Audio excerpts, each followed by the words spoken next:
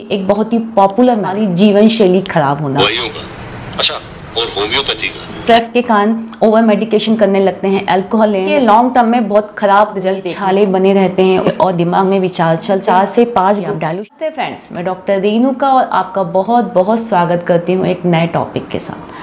दोस्तों, आज मैं होम्योपैथी की एक बहुत ही पॉपुलर मेडिसिन नक्स वोमिका के बारे में डिस्कस करने वाली हूँ। दोस्तों, आपने नोटिस किया होगा कि हमारी कई बीमारियों का कारण निकल के आता है हमारी जीवन शैली खराब होना या हमारी लाइफस्टाइल अच्छी ना होना प्रॉपर ना होना। अब इसमें कुछ भी हो सकता है।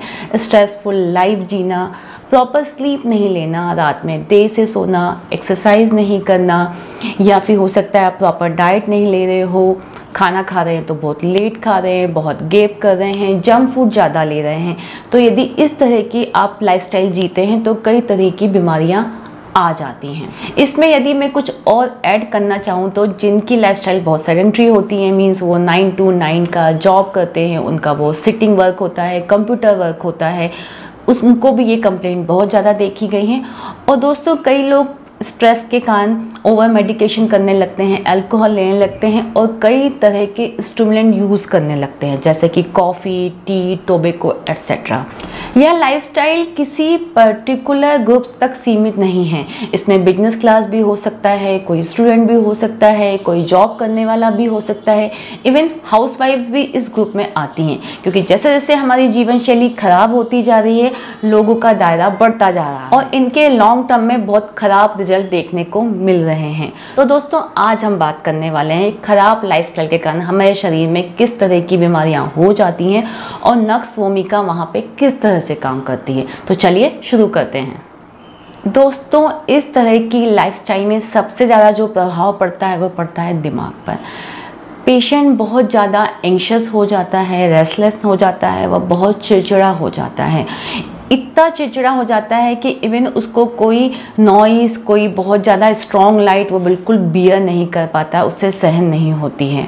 पेशेंट बहुत ज़्यादा ओवर सेंसिटिव हो जाता है, उसका गुस्सा बहुत ज़्यादा बढ़ जाता है, उसको शोर बिल्कुल पसंद नहीं होता है और इतनी सेंसिटिविटी बढ़ जाती है कि इवन द स्ट्रॉन्ग स्मेल यदि कहीं से तेज़ स्मेल भी आ रही है तो वो भी उससे बियर नहीं होती है। इसके कारण से पेशेंट कई बार स्टिमुलेंट लेने लगते हैं, वो कॉफ़ी भी हो सकता है टोबेको हो सकता है टी की डिज़ायर हो सकती है या वो एल्कोहल भी ले सकता है और कभी कभी वो ओवर मेडिकेशन भी लेने लगता है। इस तरह की जीवन शैली के कारण पेशेंट का पेट हमेशा ख़राब रहता है। उसके मुँह में छाले बने रहते हैं, उसका पेट बहुत फूला फूला लगता है, पेट में गैस रहती है, एसिडिटी की शिकायत होती है, उसका मोशन क्लियर नहीं होता है। यदि होता भी है तो उसको बहुत टाइट स्टूल होता है। इसलिए उसको ऐसा लगता है कि यदि मैं टोबे को ले लूँगा या फिर टी या कॉफ़ी पी लूँगा तो मेरा मोशन क्लियर हो जाएगा। लेकिन इससे उसको कोई ख़ास फ़र्क नहीं पड़ता और बल्कि उसकी स्टिमुलेंट की डिज़ायर बढ़ती जाती है। दोस्तों, जब यह कॉन्स्टिपेशन बहुत टाइम तक बना रहता है तो पेशेंट को धीरे धीरे पाइल्स की समस्या हो जाती है और ये कंप्लेंट बहुत लॉन्ग टर्म तक चलती है। इसमें पेशेंट का हेडेक भी बहुत मार्क्ड होता है। पेशेंट बहुत ओवर सेंसिटिव होता है, इसलिए उसका जरा से शोर से या जरा से स्ट्रेस से उसका हेडेक शुरू हो जाता है। हेडेक पहले फ्रॉन्टल रीजन से शुरू होता है पर पूरे हेड में वो स्प्रेड हो जाता है और पेशेंट को किसी भी चीज़ से आराम नहीं लगता है, इसलिए पेशेंट फिर कभी कभी दवाई पे भी डिपेंडेंट हो जाता है। इसमें पेशेंट की नींद भी बहुत ज़्यादा डिस्टर्ब होती है, उसको प्रॉपर स्लीप नहीं आती, बहुत लेट नाइट उसको नींद लगती है और दिमाग में विचार चलते रहते हैं, यदि नींद लग भी जाए तो बहुत साउंड स्लीप नहीं होती दोस्तों, वो रात में उठकर बैठ जाता है और इसलिए वो धीरे धीरे स्लीपिंग पिल्स लेने लगता है, जो उसकी बॉडी पे और ज़्यादा गलत प्रभाव डालते हैं। अब मैं बात करूँगी कमर दर्द की। दोस्तों, होता क्या है कि जब पेशेंट बहुत सडेंट्री लाइफ जीता है बैठे बैठे काम करता है तो धीरे धीरे उसके कमर में जकड़न महसूस होने लगती है और उसका लोअर बैक में बहुत ज़्यादा खिंचाव सा महसूस होता है और धीरे धीरे ये खिंचाव और जकड़न दर्द में तब्दील हो जाती है। पेशेंट को बैठने में बहुत ज़्यादा तकलीफ़ होती है। इवन यदि वो रात में सोता भी है तो उसको करवट लेने में भी तकलीफ़ होने लगती है। और धीरे धीरे ये कंप्लेंट इतनी बढ़ जाती है कि वो स्लिप डिस्क में तब्दील हो जाती है और पेशेंट को पैरों में सुनपन, पैरों में झुंझुनी आना और कभी कभी हाथों में भी तकलीफ़ होना शुरू हो जाती है। यदि अब मैं यहाँ पर जनरल मॉडलिटीज़ की बात करूँ तो दोस्तों यहाँ पर पेशेंट को सारे प्रॉब्लम्स में लाइट से नॉइज़ से शोर से इन सबसे उसकी तकलीफ़ बढ़ जाती है। खाना खाने के बाद भी उसके पेट की तकलीफ़ बढ़ जाती है और बहुत ज़्यादा ओवर सेंसिटिव होता है, इसलिए कोई भी स्ट्रॉन्ग स्टिमुलेंट लेता है तो भी उसकी कंप्लेंट बढ़ जाती है और उसको आराम कैसे मिलता है, उसको फ्रेश एयर में जाने से, पेट थोड़ा हल्का होने से उसे आराम मिलता है।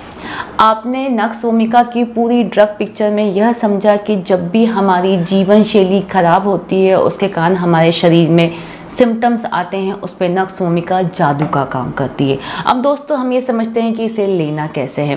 वैसे तो मैं क्लियर कर दूँ कि जब भी आपको कोई कंप्लेंट आती है और आपको होम्योपैथिक मेडिसिन लेनी है तो डॉक्टर के प्रिस्क्रिप्शन से ही लेना चाहिए। क्योंकि हर पेशेंट की कंप्लेंट अलग अलग होती है, उसके अकॉर्डिंग जो मेडिसिन के डोजेस होते हैं, जो पोटेंसी होती है, वो भी अलग अलग होती हैं। लेकिन फिर भी इसका एक कॉमन डोज ये है कि नक्स ओमिका रात को सोते वक्त लेना चाहिए। रोज बस एक ही डोज लेना है। चार से पाँच गोली ढक्कन में लेके चूसना है, चबाना नहीं है। और यदि आप डाइल्यूशंस में ले रहे हैं तो eight to ten drops in half cup of water आप रात को सोते वक्त ले सकते हैं। दोस्तों, ये खुराक आपको केवल पंद्रह दिन तक लेनी है। फिर आठ से दस दिन का गेप करके आप पंद्रह दिन और रिपीट कर सकते हैं। इसके बाद आपको नहीं लेनी है। दोस्तों, यहाँ पर मैं एक बहुत इंटरेस्टिंग बात शेयर करना चाहती हूँ। कपिल शर्मा शो में एक बार संजय दत्त ने कहा है कि जब किसी भी चीज़ की ओवरडोजिंग हो जाती है लाइक वो कोई मेडिसिन हो सकती है, कोई अल्कोहल हो सकता है टोबेको हो सकता है टी कॉफ़ी कुछ भी हो सकता है, यदि उसकी ओवरडोजिंग हो रही है तो वो एक होम्योपैथिक मेडिसिन लेते हैं और वो ओवरडोजिंग के साइड इफ़ेक्ट्स को बहुत अच्छे से कवर करती है। उसको जो नॉलेज है अच्छा दवाइयों का। अच्छा और होम्योपैथी का। अच्छा। और स्पेशली उसके पास एक दवाई है पर रात को जरा सिक्सटी नाइन्टी ज़्यादा हो गई। तो उसके छह ड्रॉप पियो तो सब ठीक हो जाता। है और जहाँ तक मेरा नॉलेज है वो नक्स भूमिका के बारे में बात कर रहे थे क्योंकि होम्योपैथी में नक्स भूमिका ही एक ऐसी मेडिसिन है जो बहुत सारी चीज़ों के साइड इफ़ेक्ट्स को ओवरडोजिंग को बहुत हद तक कवर करती है। तो दोस्तों यह थी नक्स भूमिका की पूरी ड्रग पिक्चर ख़राब जीवन शैली से हमें कौन कौन से सिम्टम्स आ सकते हैं और नक्स भूमिका वहाँ पर कैसे काम करती है, हमने इसके बारे में डिस्कस किया। दोस्तों, यदि यह वीडियो आपको इन्फॉर्मेटिव लगा है और आपके किसी प्रॉब्लम को सॉल्व करने में हेल्प मिली है तो please like share and subscribe to my video my channel thank you